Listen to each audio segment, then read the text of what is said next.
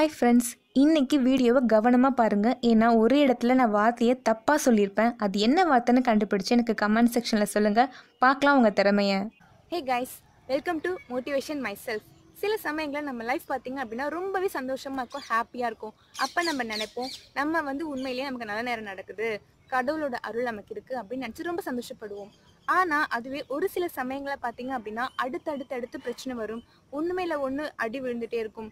So இதுக்கெல்லாம் என்னடா காரணம்? நமக்கு நேரமே சரியில்லையோ அப்படின்னு நினச்சி வருத்தப்படுவோம். நம்ம தலையெழுத்துப்படி தானே எல்லாம் நடக்கும் அப்படின்னு நொந்துப்போம். ஒரு சிலர் சொல்லுவாங்க உன் தலையெழுத்தே சரி கிடையாது. எல்லாம் உன் தலை விதி அப்படின்னு சொல்லுவாங்க. பட் ஆனால் ஒரு சிலர் சொல்லுவாங்க விதியை மதியால் வெல்லலாம் அப்படின்னு சொல்லுவாங்க. ஸோ இப்போ இதுதான் உண்மை. விதியை நம்மளால் மாற்ற முடியுமா? முடியாதா? இல்லை நமக்கு நடக்கக்கூடிய விஷயங்கள் எல்லாமே நம்ம தலையெழுத்துப்படி தான் நடக்குதா? இந்த கேள்விக்கு தான் பதில் இன்னைக்கு பார்க்க போகிறோம் ஸோ வீடியோவை ஸ்கிப் பண்ணாமல் ஃபுல்லாக பாருங்கள் ஏன்னா அது அந்த அந்த கேள்விக்கான பதில் வந்து ஒரு குட்டி கதை தான். ரொம்ப நல்ல கதை.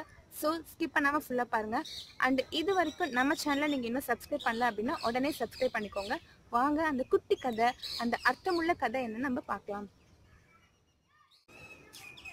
ஸோ ஃப்ரெண்ட்ஸ் அந்த கதை என்னென்னு தெரிஞ்சுக்க ரெடியாக இருக்கீங்களா? அந்த குழந்தை வந்து பூமிக்கு புதுசாக பிறக்க போகுது. ஸோ அது பிறக்கிறதுக்கு முன்னாடி கடவுள்கிட்ட ஒரு மூணு கேள்வி கேட்கணும்னு ஆசைப்படுது. அது என்ன கேள்வி அப்படிங்கிறத பார்க்கலாம். முதல் கேள்வி அந்த குழந்தை வந்து என்ன கேட்குது அப்படின்னா சொர்க்கத்தில் நான் நல்லா சந்தோஷமாக இருக்கேனே. நான் எதுக்காக பூமிக்கு போகணும்? எனக்கு பயமாக இருக்குது அது எப்படிப்பட்ட உலகம்னே எனக்கு தெரியாது. அங்கே எனக்கு யாரையும் தெரியாது. நான் ஸோ வந்து எனக்கு போக பயமாக இருக்கு அப்படின்னு சொல்லி அந்த குழந்தை கேட்குது அதுக்கு அந்த கடவுள் சொல்கிறாரா நீ கவலையே படாத. உன்னை வரவேற்கிறதுக்காக அங்கே அப்பா அம்மான்னு ரெண்டு பேர் இருக்காங்க. அவங்க உன்னை பார்த்துப்பாங்க. அதுவும் இல்லாமல் நீ அந்த பூமிக்கு போனதா வாழ்க்கைனா என்னன்னே உனக்கு தெரியும்.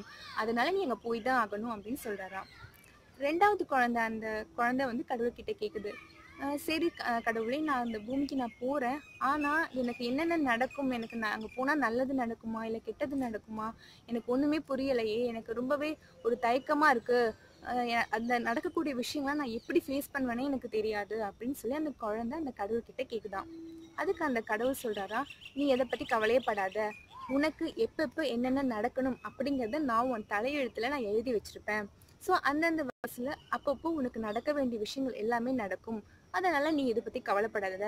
உனக்கு எப்ப நல்லதை எது கொடுக்கணும்? உன்கிட்ட இருந்து எப்ப எதை எடுக்கணும்? உனக்கு என்னென்ன விஷயங்கள்லாம் உனக்கு கற்றுக் கொடுக்கணும்.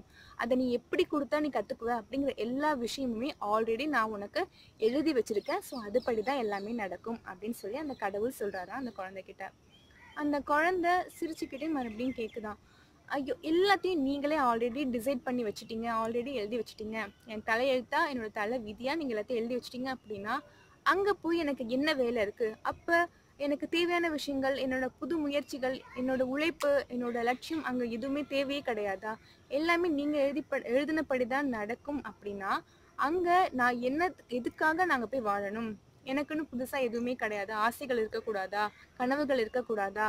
அப்படின்னு சொல்லி அந்த கடவுள் வந்து ஒரு வருத்தத்தோடு கேட்குது ஸோ இப்போது அந்த கடவுள் பொறுமையாக நிதானமாக சொல்லிட்டு அவர் அதை சிரிச்சுக்கிட்டே சொல்கிறாரு நீ அப்படி நினைக்கக்கூடாது. உனக்கு வர வேண்டிய விஷயங்கள் உனக்கு கிடைக்க வேண்டிய விஷயங்கள் எல்லாத்தையுமே நான் வந்து உன்னோட தலை எழுத்துல நான் பக்கம் பக்கமா எழுதி வச்சுட்டு இருப்பேன். ஒரு சில பக்கங்கள்ல வந்து blank-ஆ இருக்கும். எதுவுமே எழுதாம வச்சிருப்பேன். அந்த இடத்துல வந்து நீ ஆசைப்பட்டபடி அப்படிங்கிற ஒரு லைன் மட்டும்தான் இருக்கும். ஸோ உன் வாழ்க்கையில எல்லா விஷயங்களுமே நான் எழுதினபடி தான் நடக்கும். ஆனா ஒரு சில இடத்துல நீ ஆசைப்பட்டபடி உன் கனவுப்படி உனக்கு என்ன தேவைங்கிறது நீ விருப்பப்படுற விஷயங்கள் உனக்கு கண்டிப்பாக கிடைக்கும். ஸோ இதுதான் வாழ்க்கை. எல்லாமே ஆல்ரெடி ப்ளீன் ப்ரீ பிளான்டாக நடந்தாலும் உங்களோட முயற்சியும் உங்களோட உழைப்பும் உங்களோட அந்த ஆசையும் அந்த லட்சியம் நீங்கள் எந்த விஷயத்த ரொம்ப அதிகமாக நேசிக்கிறீங்களோ அந்த விஷயம் உங்களுக்கு கண்டிப்பாக கிடைக்க வரும். ஸோ உன்னோட முயற்சிக்கு அங்கே வீண் போகாது. உன்னோட முயற்சிகள் உன்னோட வெற்றிகள் நீ ஆசைப்படுற அந்த கனவுகள் எல்லாமே வந்து உனக்கு வந்து சேரும். அப்படின்னு சொல்லி அந்த கடவுள் சொல்கிறாராம் ஸோ இதுதான் அந்த கதை. ஸோ ஃப்ரெண்ட்ஸ் இந்த கதை மூலமாக நமக்கு விஷயம் ரொம்பவே தெளிவாக புரிஞ்சிடுச்சு.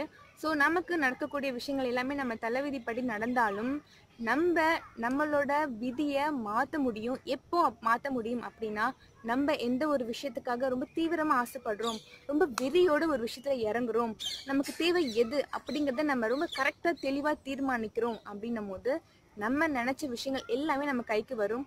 ஸோ ஒரு சில விஷயங்கள் நம்ம தலைவிதிப்படி நடந்தாலும் நம்மளோட தன்னம்பிக்கையும் நம்மளோட விடாமுயற்சியும் நம்மளோட வெறி அந்த லட்சியத்தை நம்ம நினைச்ச விஷயத்தை அடைஞ்சே தீரணும் அப்படிங்கிற அந்த வெறி இது எல்லாமே இருக்கும்போது நம்ம ஆசைப்பட்ட வா மாதிரி நம்மளோட வாழ்க்கையை நம்மளால மாற்றி அமைச்சுக்க முடியும். ஸோ இது உங்களுக்கு நல்லாவே புரிஞ்சிருக்கும்னு நினைக்கிறேன். ஸோ இனிமேல் வந்து நீங்கள் வந்து எல்லாமே நம்ம தலைவிதிப்படி தான் நடக்கும். நமக்கு எதுவுமே கிடைக்காது. நம்ம செய்ய வேண்டியதுக்குன்னு எதுவுமே கிடையாது. எல்லாமே கடவுள் கையில் தான் அப்படின்னு சொல்லி நீங்கள் சோர்ந்து போய் உட்காராம உங்களுக்கு தேவையான விஷயங்கள் என்ன என்ன அப்படின்னு தேடி அதை அடையிறதுக்காக நீங்கள் கண்டிப்பாக போராடுங்க. அது கண்டிப்பாக உங்களுக்கு கிடைக்கும். ஸோ இன்னைக்கு இந்த வீடியோ இதோட முடியுது நான் திரும்பவும் உங்களை மறுபடியும் மீட் பண்ணுறேன் அடுத்த நல்ல டாப்பிக்கோட நல்ல கண்டென்ட்டோட மீட் பண்ணுறேன் அண்ட் இந்த வீடியோ உங்களுக்கு பிடிச்சிருந்துச்சு அப்படின்னா மறக்காமல் லைக் கமெண்ட் அண்ட் ஷேர் பண்ணுங்கள் அண்ட் உங்கள் ஃப்ரெண்ட்ஸுக்கும் உங்கள் ரிலேட்டிவ்ஸ்க்கும் நம்ம சேனலை சப்ஸ்கிரைப் பண்ண சொல்லுங்கள் நீங்களும் சப்ஸ்கிரைப் பண்ணிக்கோங்க. நம்ம மறுபடியும் சந்திக்கலாம். Bye take care have a happy day